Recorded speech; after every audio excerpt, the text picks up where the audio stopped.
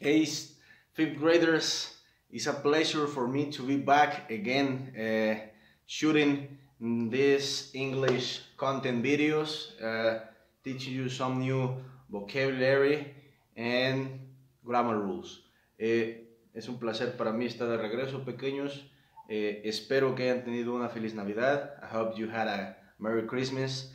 Eh, espero eh, hayan estado sobre todo felices en compañía de los suyos, de su familia y la hayan pasado de lo mejor. Bueno, eh, without further ado, let's get started. Vamos a empezar, ¿vale? Muy bien, lo que tenemos aquí es eh, el tema de, de este- en esta ocasión con el que iniciamos es en el la unidad número 5. Este tema es comparative adjectives, adjetivos comparativos, ¿vale? Bueno, eh, antes de ver directamente los adjetivos comparativos, o bueno, en su forma comparativa como tal, vamos a ver los adjetivos nada más. Los mismos que se nos presentan en su libro, en la página 36, page 36. Tienen ustedes estas oraciones que están acá y obviamente aquí eh, pueden ver subrayados los adjetivos comparativos como prettier, larger, whiter, tenemos cheaper, tenemos neater, tenemos smarter, tenemos busier y tenemos messier. ¿Sale? Y vamos a ver el significado de cada uno de ellos, pero en su forma simple, como adjetivos calificativos tal cual, no acá que ya son adjetivos comparativos. Empezamos desde lo básico. Tenemos acá que es pretty. Pretty, su significado es bonita. ¿Sale? Eh, por lo general se refiere a una mujer cuando utilizas pretty. También se utiliza como un adverbio pretty, como muy. Pretty good. ¿Cómo estuvo? Mm, eh, no sé. ¿Cómo estuvieron tus vacaciones? How, how were your holidays? Ah, pretty good. Pretty, pretty good. Entonces, también. Pero en este caso lo vamos a olvidar. Pretty significa bonita. ¿Sale? En este, en este contexto. ¿Sale? No como un adverbio, que es pr- pretty sería muy. Pretty good, muy bien. Pero en este caso, repito, pretty sería bonita. Es cuando se refiere para hablar de una mujer. Eh, incluso también se le puede decir a una, a una mascota del sexo femenino, eh, pretty. Bueno, entonces, eh, seguimos acá, tenemos large. Large, que significa grande. Tenemos quiet. Este ustedes lo deben de conocer porque cuando ustedes están en el salón, yo les digo, hey kids, quiet please. Y esto es o bien tranquilos o bien silenciosos. O silencio, quiet please, be quiet. Be quiet es eso. Es como eh, manténganse o quédense silenciosos o bájenle, ¿sale? Entonces, quiet es tranquilo. eh, cuando hablamos de un lugar, o silencioso, o silencio como tal, quiet, como adjetivo. Por ejemplo, hay una película muy famosa que seguramente ya la vieron en Netflix o bien en alguna página de internet que no sea Netflix, que no sea esta plataforma, o bien la vieron en alguna otra, eh, en alguna otra cosa, por así decirlo, en DVD, lo que sea. Se llama Quiet Place. Place es lugar, quiet es silencioso, en el cual aparecen este, algunos eh, como seres alienígenas, en el cual tienen que andar todos despacito, porque en el más mínimo ruido vienen ellos y asesinan a la persona que hizo ruido. En el lugar que hiz- hizo ruido llegan y asesinan. Creo que ya lo vieron. Bueno, entonces, por poner un ejemplo, quiet. Entonces, tenemos cheap. Cheap es barato, ¿sale? Que también cheap como adjetivo significa codo, para lo que no, ¿sale? Codo. Eh, por ejemplo, cuando alguien no quiere pagar algo que necesita, este, ¿qué dicen? Hey, please, don't be cheap. Don't be, no seas cheap. ¿Vale? Don't be cheap. No seas este, codo. Pero en este caso, en este sentido, y ahí también es un adjetivo, pero en este caso cheap es barato. ¿Vale? En este contexto. Tenemos neat. Neat es ordenado. eh, que es totalmente lo contrario a Messi, como el jugador, pero con una Y. Messi es desordenado y neat es ordenado. Ejemplo en donde podemos utilizar neat su cuarto. Por ejemplo, yo puedo decir, eh, my room is neat, porque está todo bien dobladito, todo arreglado. Eso es, my room is neat. Mi cuarto está organizado o arreglado, como lo quieran decir. My room is neat.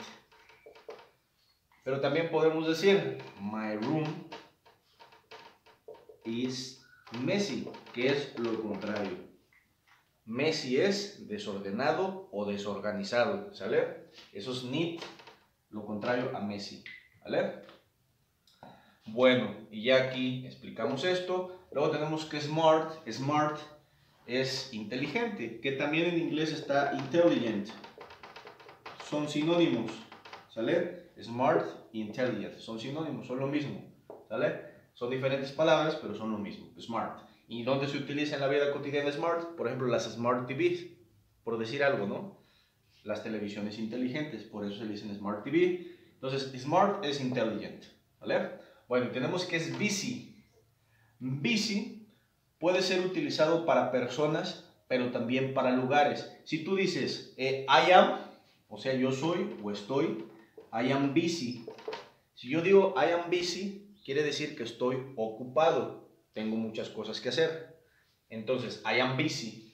Pero si digo, uh, por ejemplo, mm, ¿qué será bueno? Eh, por ejemplo, no sé, cualquier avenida. Eh, Avenue. Avenue 3, la avenida 3. Avenue 3 is busy. No está ocupada la calle, simplemente está concurrida, llena de mucha gente, de muchos, bueno, de gente principalmente, no es de carros, de gente, ¿sí? Es cuando, cuando es un lugar y decimos que el lugar está busy, o that place, ese lugar, that place is busy. Ah, ok, está muy concurrido, va mucha gente. Y si digo, I am busy, estoy ocupado, ¿vale? Busy. Y luego tenemos, bueno, Messi, ya terminamos. Bueno, Ahora, cada uno de estos ya vimos su significado. Y como pueden ver, tenemos el primer ejemplo de acá arriba. Aquí tal cual son adjetivos calificativos, todos estos, y acá sus significados al español. Pero tenemos de este lado los adjetivos, sus adjetivos comparativos. Esto los utilizamos cuando queremos comparar dos cosas o dos personas entre sí. Por ejemplo, tenemos aquí prettier, que significa más bonita. Si tenemos acá large, larger es más grande. ¿Sale? Cuando hay dos cosas. Y aquí vamos a ver las comparaciones. Quiet, quieter o quieter. Los, los americanos se le dicen quieter, quieter, digámoslo, para que se entienda más. Quieter. Quieter es más tranquilo, más silencioso. Por ejemplo, eh, yo también podría decirles a ustedes en el salón, les digo, hey kids, quiet, pero algunos no entienden, digamos, eh, hasta qué nivel tienen que bajar su volumen. Entonces yo les puedo decir, hey, please be quieter. O sea, sean más silenciosos. Please be quieter. Más silenciosos, quieter. Luego tenemos, eh, cuando estamos comparando también, eh, dos cosas. Por ejemplo, voy a tomar esto. Mm, estas dos cosas. Entonces, por ejemplo, yo puedo decir, my marker is cheaper than the book. Cheaper, más barato. Luego tenemos neat, neater, más organizado, más ordenado. Luego tenemos smart, smarter, más, esto significa más inteligente. ¿Qué qué? Pues ese es el chiste, ahorita vamos a ver acá cómo se utilizan. Eh, Busy, busier. Messy, messier. Más desorganizado. Ok. Quiero que noten algo. Tenemos aquí tres adjetivos que terminan con Y. Pretty, tenemos aquí busy y tenemos messy. Estos, cuando lo vas a convertir en comparativo, siempre le cambias la Y por la I latina, como pueden ver para hacer los comparativos. Y le agregas obviamente la ER. En los demás, como en Mart, nada más le agregas una ER, neat, neater, agregas ER, cheap, cheaper, ER, quiet, quieter, ER, pero acá como tenemos large y ya termina con una E, nomás le, le agregamos la R y con eso es todo. Ahora nos pasamos para acá con las eh, oraciones que están en la página 36, page 36, y aquí tenemos la primera oración comparativa, que es Your doll, your es tú y doll es muñeca. Your doll is prettier than, más bonita que mi muñeca, ¿sale? Your doll is prettier than my doll, ¿sale? Ok, vamos con el siguiente, dice his dog, su, his dog is larger than que, más grande que tu perro, ¿sale? Ojo, quiero que aclarar algo. Ustedes han visto este adjetivo y ahorita están viendo este, ¿verdad? El big y large. Bueno, big como tal se puede referir a algo grande, pero algo no necesariamente medible como tal. Por ejemplo, eh,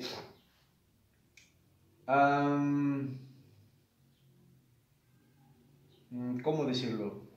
Por ejemplo, la graduación de cualquier alumno, the graduation of any student is a big deal.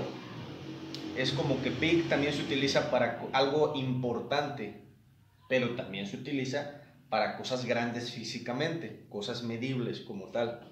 Bueno, large es igual grande, pero solamente se utiliza para cosas físicas. Yo no puedo decir que la graduación un, the graduation of any, uh, of any student is large or is a large, uh, a large deal. No existe. ¿Qué quiero decir en pocas palabras para no confundirlos? Que large y big son intercambiables entre sí. Los dos son para cosas grandes, pero grandes medibles. ¿Sale? La única diferencia es que big se utiliza como un sinónimo a veces de algo importante, como tal, como important. Pero large es grande, ¿sale? Entonces, en este caso, his dog, su perro, is larger, más grande que tu perro, ¿sale? Your dog. Tenemos acá la siguiente, dice, please, please, por favor, be quieter. Por favor, sé o sean más silenciosos, ¿vale? Luego tenemos aquí this. This, acuérdense que es este o esta. This candy, candy es dulce. This candy is cheaper than that one, que ese. Este, este, este candy es más barato que, que ese, ¿sale? Y así, ¿vale? My bed is neater, mi cama, my bed is neater than your bed. Mi cama es más eh, neater, organizada que la tuya. O está más organizada que tu cama. Y así, my sister is smarter than me. My sister is más smarter than me. Y luego tenemos this street, esta calle, this street is busier than that one. ¿Sí? Esta calle, this, this street is busier than that one. Acuérdense, después de cada adjetivo comparativo tenemos el than, que es qué, que sirve aquí eh, después de este para comparar qué, cuál. Y acá están los dos elementos en cada lado. Esta calle de esa. Mi hermana de, eh, que yo, más que yo. Eh, mi cama, tu cama, por ejemplo. Así están, los, están las dos cosas comparándose. Aquí está un elemento y el otro que se están comparando con ese adjetivo. Y luego dice, your hair, your hair is messier than my hair. ¿Sí? Y bueno, entonces ahí lo vemos. Entonces vamos a repetir primero, eh, vamos a empezar con los adjetivos calificativos normales y luego con sus comparativos. Pretty, large, quiet, cheap, neat, smart, busy, messy y ahora prettier, pretty prettier, large, larger, large, larger, no larger, large, larger, quiet, quieter, cheap, cheaper, neat, neater, smart, smarter, busy, busier, messy, messier. So kids, so stay tuned, we will continue. Well, kids, so we continue with this topic. Kids, firstly, I want you to go to page 30, 37. Go to page 37, please. Page 37, please. You're going to find over there some, uh, some exercises that you are going to solve. Van a, van a encontrar unos, unos, ejercicios que van a resolver. Eh, tenemos, por ejemplo, aquí el primero que ya está hecho. Dice Lily's desk, o sea, el escritorio de Lily, es, ¿cómo está? Es Messi. Pero, ¿qué? Vas a hacer la comparación aquí. Entonces, bueno, ya está hecho. Is messier. Van a utilizar eh, los mismos adjetivos comparativos que ustedes tienen en la página previa, los que ya vimos. Obviamente aquí les están dando la forma de adjetivo como normal, el adjetivo simple. Bueno, ustedes van a poner el adjetivo comparativo. Aquí están comparando el escritorio de Lily con el de el escritorio de Tom. Entonces, ¿cuál es, está peor? ¿Cuál está más desordenado? Pues el de Lily, ¿no? El de Lily, Lily's desk is messier than Tom, Tom's desk. Entonces, luego tenemos aquí eh, the pink dress. Dress es este, vestido. Entonces, the pink dress is da, da, da, da, aquí es than, the blue dress. Que el blue dress, que el vestido azul. Está más bonito, entonces, ¿cómo sería? Prettier. ¿Vieron qué fácil es? Y así van a ser todas. Bueno, now we, we move on to the next page, which is the page uh, 38. Page 38. En la página 38, you are going to find some, uh, some new comparative adjectives. Van a encontrar unos adjetivos comparativos nuevos. Entre ellos están eh, smaller, cleaner, hotter, Pero primero tenemos que conocer sus versiones normales, por así decirlo. No las comparativas, sino los, los adjetivos como tal. No los adjetivos comparativos, repito, sino los adjetivos en su forma natural. Tenemos aquí que es small. Small es lo contrario a large. ¿Se acuerdan que es large? Large. Small. ¿Sale? Small es lo contrario. ¿Sale? Small. Entonces tenemos clean. Clean es lo contrario a dirty. ¿Qué es dirty? Aquí van a aprender dos adjetivos. Eh, dirty es sucio. Clean lo contrario. Limpio. Luego tenemos hot, que es por ejemplo, eh, Veracruz, Veracruz Port is hot. Hot, eso es hot, ¿sale? The weather, weather es este clima, the weather is hot. Es hot. Y old. Old es lo contrario a new. Old es algo, en, bueno, o alguien de una edad avanzada, ¿sale? sea animal, sea cosa o persona, algo que tiene una edad avanzada, old, lo contrario a new. Entonces tenemos small, clean, hot y old ya, ¿sale? Entonces aquí tenemos sus comparativos, smaller, cleaner, hotter y older. ¿Qué vamos a hacer nosotros aquí? Eh, para resolver esta actividad es muy sencillo. Eh, primero, lo que tenemos que checar son las imágenes que están en la página 38. Abajo de cada una de esas imágenes eh, tenemos un pequeño texto que describe cómo es cada uno de esos lugares. El que tenemos en la parte izquierda del libro es Marlin Bay. Así es ese lugar. Ahí está describiendo cómo es ese lugar. Utiliza, obviamente, eh, cada una de ellas utiliza diferentes adjetivos calificativos. ¿Sale? Obviamente los está utilizando en su forma natural. No utiliza smaller, es, utiliza small. ¿Sale? Eh, y en la otra parte tenemos también lo mismo. Tenemos a Tongaliki Beach o la playa de Tongaliki. ¿Sale? Bay es bahía, la bahía de Marlin y la playa de Tongaliki. Marlin Bay, Tongaliki Beach. ¿Sale? Bueno. Entonces, ahí está utilizando, como yo les decía, los adjetivos de, forma natural, no de forma comparativa. El asunto es que aquí nosotros vamos a hacer la comparación. ¿Cuál es más grande? ¿Cuál es más pequeña? ¿Cuál es más eh, concurrida? ¿Cuál es menos? Y así. ¿Cómo vamos a saber? Ya tenemos el primer ejemplo. Tenemos que dice it's larger y apunta hacia Tongaliki Beach. ¿Cómo saber por qué es larger? Quiere decir es más grande. Tongaliki Beach es la más grande, ¿sale? Y lo ponemos aquí, it's larger, porque eso significa larger, más grande. ¿Por qué? Porque dice Tongaliki Beach, dice en un párrafo que tiene ahí, dice, Tongaliki Beach is a very large place. Place es lugar, a very es eh, muy, es, es un, Tongaliki Beach is a very large place. Es un muy lugar grande, un lugar muy grande, perdón. ¿Sale?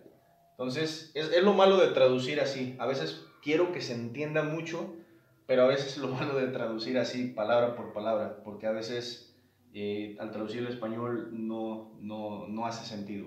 Entonces, esto me está diciendo, aquí está el adjetivo, como lo pueden ver, ah, it's a very large place, es un lugar muy, muy grande. Entonces, ah, pues este, ah, pues larger, y aquí lo vemos, Tongaliki Beach. Vamos con la siguiente, por ejemplo, dice, it's smaller.